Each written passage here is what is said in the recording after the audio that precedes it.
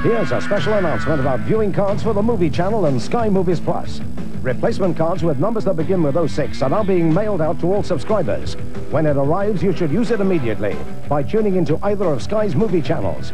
After checking your new card thoroughly, throw your old card away.